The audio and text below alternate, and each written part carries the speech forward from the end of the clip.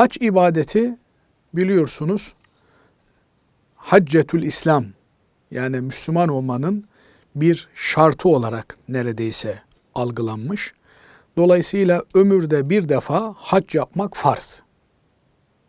Bu farzın yerine gelebilmesi hac ibadetini bizzat ifa etmekle mümkündür. Hac hem bedeni hem mali bir ibadettir. Biliyorsunuz ibadetlerimiz bedeni ibadetler, yani bizzat bedenle yaptığımız ibadetler, mali ibadetler, parayla yaptığımız ibadetler, bir de hac gibi hem bedeni hem mali olan ibadetler diye üçe ayrılmakta. Hac ibadeti hem bedenen bir takım fiilleri işleyerek yaptığımız hem de para harcayarak işte e, onun için mali bir takım zenginliğe sahip olma şartı aranıyor. Bir ibadet çeşidi. Dolayısıyla e, namaz kılmayayım, yerine fakirlere sadaka dağıtayım olur mu? Olmaz. Oruç tutmayayım, onun yerine ben fakiri fukarayı yedireyim olur mu? Olmaz.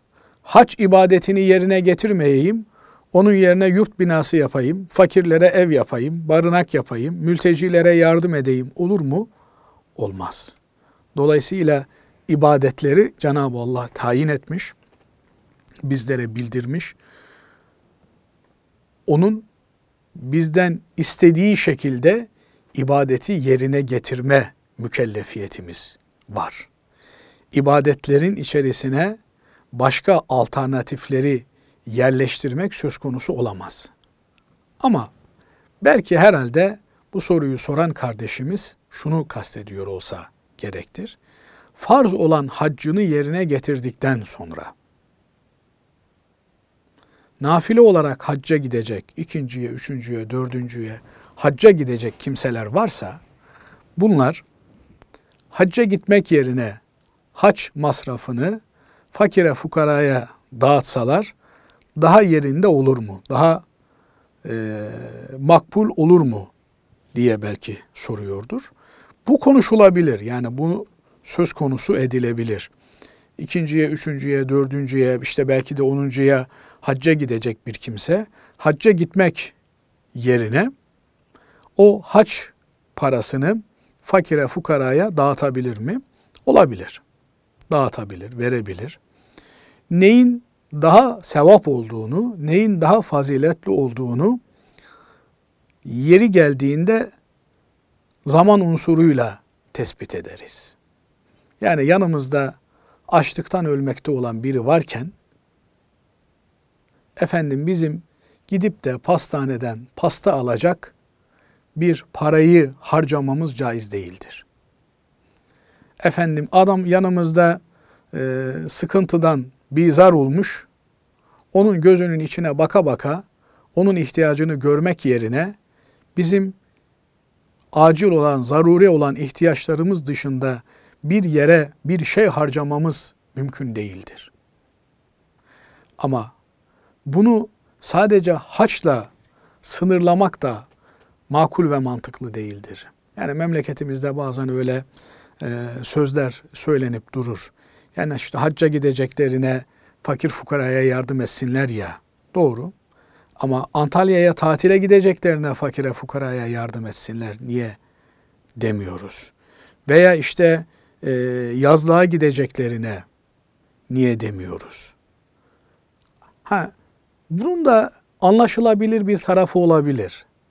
Yani Antalya'ya tatile giden zaten e, vicdanı olsa fakirin, fukaranın hakkını yiyip de böyle bir şeye teşebbüs etmezdi.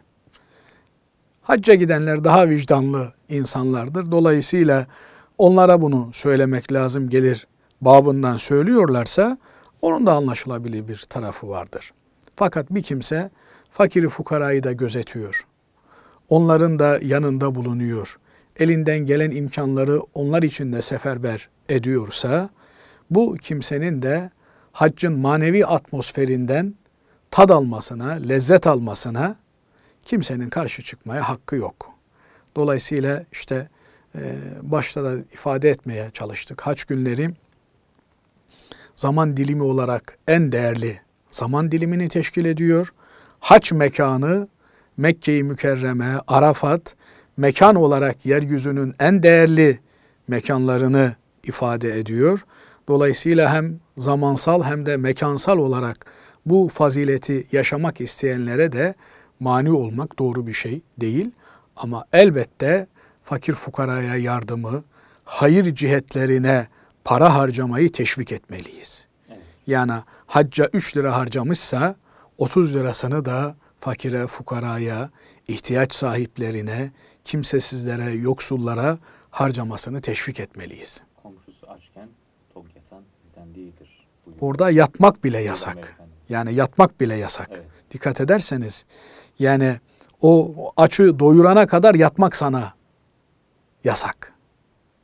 Dolayısıyla bırakın hacca gitmeyi, namaz kılmayı, oruç tutmayı o açı doyurana kadar çalışmaya mecbursun.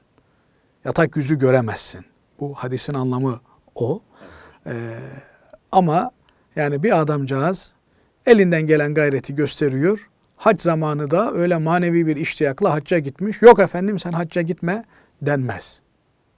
Haccına da gitsin, yardımını da yapsın.